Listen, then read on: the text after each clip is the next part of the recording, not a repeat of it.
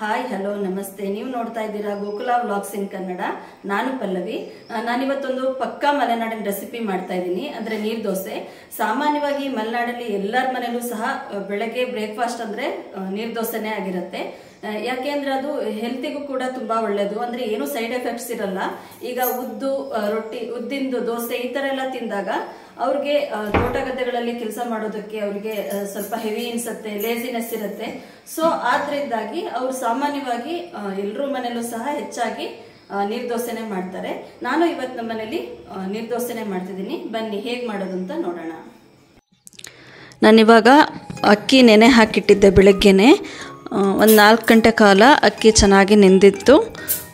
So ಇವಾಗ ನಾನು ಮೂರು ರೀತಿಯಾಗಿ ಹಿಟ್ಟನ್ನ ರೆಡಿ ಮಾಡ್ಕೊಳ್ತಾ ಇದ್ದೀನಿ.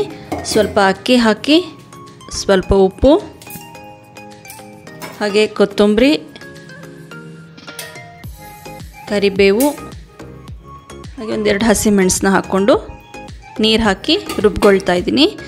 ಅಕ್ಕಿ ಚೆನ್ನಾಗಿ ನೆಂದಿದ್ರೆ ನಾವು ರುಬ್ಬಿರುವಂತಹ ಮಿಶ್ರಣ ರವೆ ರವೆ ಆಗಿರೋದಿಲ್ಲ, ಚೆನ್ನಾಗಿ ರುಬ್ಕೋಬೋದು. ಈ ರೀತಿ ಕೆಂಪು ಅಕ್ಕಿಯಲ್ಲಿ ನಾವು ಮಾಡಿದ್ರೆ ಟೇಸ್ಟ್ ಕೂಡ ಚೆನ್ನಾಗಿರುತ್ತೆ. ಹಾಗೆ ಸಾಫ್ಟಾಗಿ ಕೂಡ ಬರುತ್ತೆ ದೋಸೆ. ಈಗ ಇದು ರೆಡಿಯಾಗಿದೆ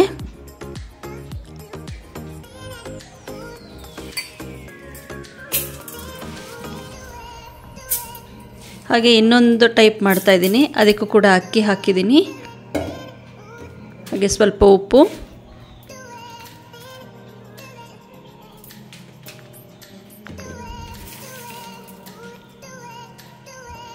ಕೆಂಪು ಮೆಣಸಿನ್ಕಾಯಿನ ಹಾಕ್ಕೊಂಡು ನೀರು ಹಾಕಿ ರುಬ್ತಾ ಇದ್ದೀನಿ.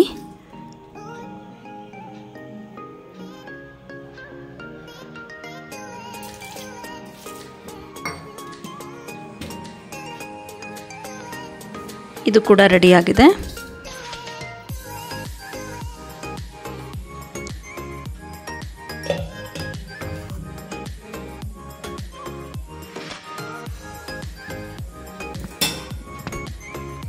ಹಾಗೆ ಇದು ಬರೀ ಅಕ್ಕಿ, ಹಾಗೆ ಉಪ್ಪು ಹಾಕ್ಕೊಂಡು ರುಬ್ಕೊಳ್ತಾ ಇದ್ದೀನಿ.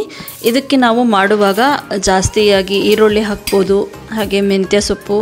ಈ ರೀತಿ ನಮಗೆ ಯಾವುದು ಅನಿಸುತ್ತೋ ಅದನ್ನು ಹಾಕಿ ಹೆಚ್ಚೆ ಹಾಕಿ, ಚಿಕ್ಕದಾಗಿ ಹೆಚ್ಚಾಕಿ ಮಾಡ್ಕೊಳ್ಬೋದು.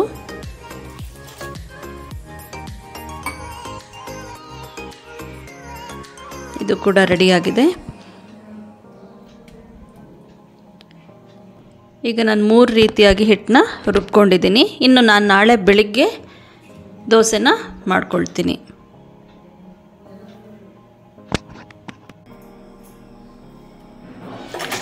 ನಾನು ದೋಸೆ ಹಿಟ್ಟನ್ನ ನಿನ್ನೆನೇ ರೆಡಿ ಮಾಡಿ ಇಟ್ಕೊಂಡಿದ್ದೆ ಇವಾಗ ತವಾನ ಬಿಸಿ ಆಗೋದಕ್ಕೆ ಇಡ್ತಾ ಇದ್ದೀನಿ. ನಾನಿಲ್ಲಿ ನಾನ್ ಸ್ಟಿಕ್ ತವಾನ ಯೂಸ್ ಮಾಡಿಲ್ಲ. ಈ ರೀತಿಯಾದಂತಹ ತವಾನ ಯೂಸ್ ಮಾಡಿದ್ದೀನಿ. ಇದರಿಂದ ದೋಸೆ ಇನ್ನಷ್ಟು ರುಚಿಯಾಗಿ ಬರುತ್ತೆ. ಹಾಗೆ ನಾನಿಲ್ಲಿ ಎಣ್ಣೆನ ಹಚ್ಚೋದಕ್ಕೆ ಯೂಸ್ ಮಾಡಿರೋದು. ಈ ಸಿಹಿ ಕುಂಬಳಕಾಯಿ ಅಂತಾರಲ್ಲ, ಅದ್ರ ತೊಟ್ಟನ್ನ ಊರ ಕಡೆ ಸಾಮಾನ್ಯವಾಗಿ ತುಂಬ ಇದನ್ನು ಯೂಸ್ ಮಾಡ್ತಾರೆ. ತುಂಬ ವರ್ಷಗಳ ಕಾಲ ಕೂಡ ಬರುತ್ತೆ ಇದು. ಹಾಗೆ ದೋಸೆ ಹಿಟ್ಟು ಕೂಡ ಈ ರೀತಿ ಇರಬೇಕು. ತುಂಬ ದಪ್ಪದಾಗಿದ್ದರೆ ಸ್ವಲ್ಪ ದೋಸೆ ಒರಟು ಅನಿಸುತ್ತೆ. ಹಾಗೆ ಇದನ್ನು ತೆಳುವಾಗಿ ಸಹ ದೋಸೆನ ರೆಡಿ ಮಾಡ್ಕೊಳ್ಬೇಕು.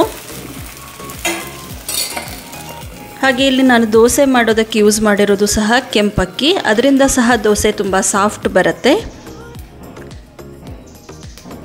ದೋಸೆ ತುಂಬ ಬೇಗ ಬೆಂದಿದೆ. ತುಂಬ ತೆಳುವಾಗಿ ಮಾಡ್ಕೊಂಡಿರೋದ್ರಿಂದ ಬೇಗ ಬೆಂದುಬಿಡತ್ತೆ. ಹಾಗೆ ಒಂದು ಸೈಡ್ ಸಹ ನಾವು ಬೇಯಿಸ್ಕೊಳ್ಬೋದು. ಅದು ಕೂಡ ಚೆನ್ನಾಗೇ ಇರುತ್ತೆ. ನಾನಿಲ್ಲಿ ಎರಡು ಸೈಡ್ ಬೇಯಿಸ್ಕೊಳ್ತಾ ಇದ್ದೀನಿ.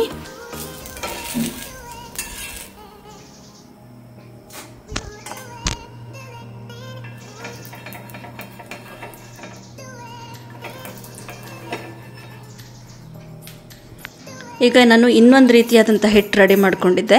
ಅಂದರೆ ಕೆಂಪು ಮೆಣಸಿನ್ಕಾಯಿ ಹಾಕ್ಕೊಂಡು ರುಬ್ಬಿದ್ದೆ. ಅದನ್ನು ಮಾಡ್ತಾಯಿದ್ದೀನಿ ಇದಕ್ಕೂ ಸಹ ಈರುಳ್ಳಿ ಮೆಂತ್ಯ ಸೊಪ್ಪು ಯಾವ ರೀತಿಯಾದಂತಹ ಸೊಪ್ಪುಗಳನ್ನು ಬೇಕಾದರೂ ಇಲ್ಲಿ ಹೆಚ್ಚಾಕ್ಬೋದು.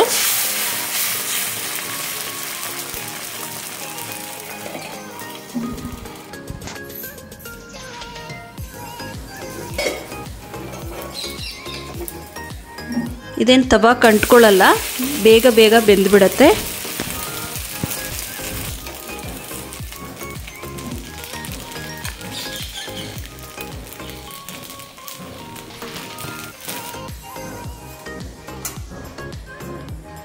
ಊರಲ್ಲಿ ತೋಟ ಗದ್ದೆಗಳಿಗೆ ಕೆಲಸ ಮಾಡೋದಕ್ಕೆಲ್ಲ ಹೋಗ್ತಾರಲ್ಲ ಸೊ ಅವಾಗ ಈ ರೀತಿಯಾದಂತಹ ತಿಂಡಿನ ತಿಂದ್ಕೊಂಡು ಹೋದರೆ ಹೆವಿ ಅನಿಸಲ್ಲ ಈಸಿಯಾಗಿ ಕೆಲಸ ಮಾಡ್ಬೋದು ಅನ್ನೋದು ಉದ್ದೇಶಕ್ಕೋಸ್ಕರ ಜಾಸ್ತಿ ಮಾಡ್ತಾರೆ.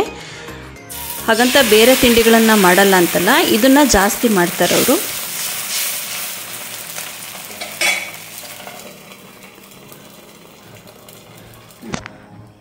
ಇದು ನಾನು ಕೊತ್ತಂಬರಿ ಕರಿಬೇವೆಲ್ಲ ಹಾಕಿ ರುಬ್ಬಿಟ್ಕೊಂಡಿದ್ನಲ್ಲ, ಆ ದೋಸೆ.